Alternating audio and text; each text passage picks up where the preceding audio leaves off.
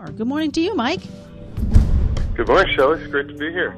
I was just out in California for an event they call it Spiritual Woodstock. He did this concert at Wealthy Street Live, I Theater. think, this Sunday afternoon. Grand Rapids Yoga for Peace is putting on this event. I was there with a number of the other top kirtan artists.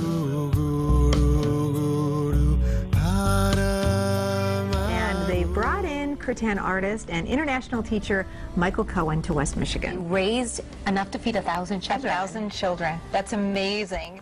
that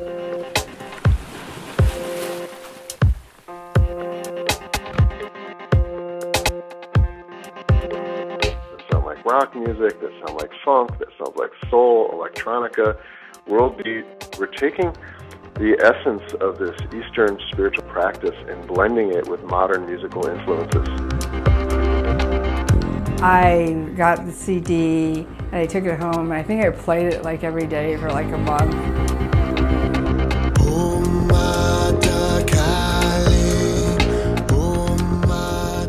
A friend who also got the CD, whenever she was stressed out because she has to drive a lot for her work, she would put the CD on and she said that she pretty much wore it out in her car.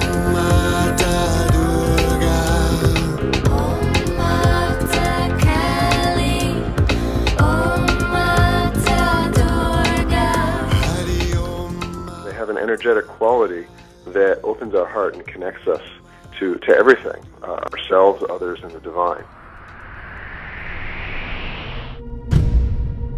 It's such a historical time that there's this opportunity for me to be working with my teachers to develop this different approach to kirtan.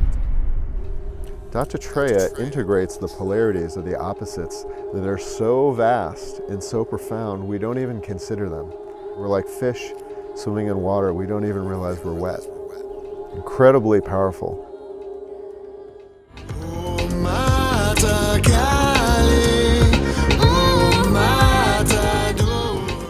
Now, this is the genius and the brilliance of Swami Kaleshwar in this Dattatreya spiritual path, which includes Shirdi Sai Baba, the famous Indian saint, Jesus, great Indian saints Ramana Maharshi and Ramakrishna Paramahansa, and then mediated through my teacher Philip Lipetz, who I've worked with intimately for a number of years.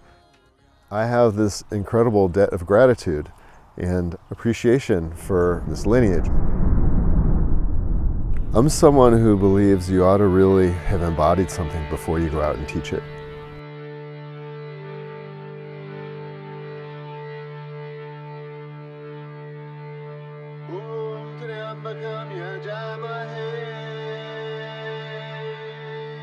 Working with people in the domains of leadership, musicianship, energetics, and spirituality over a period of time.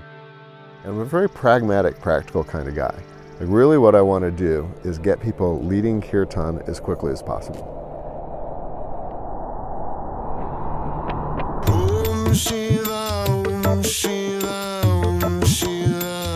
Mike's an amazing teacher.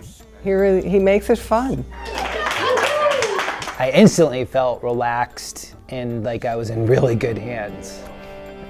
I just really appreciate his perspective of beginning with the simplest chord and then adding a little bit, and then once you master that, you just add a little bit. Because he brings such a depth of himself, it allows me to do that too.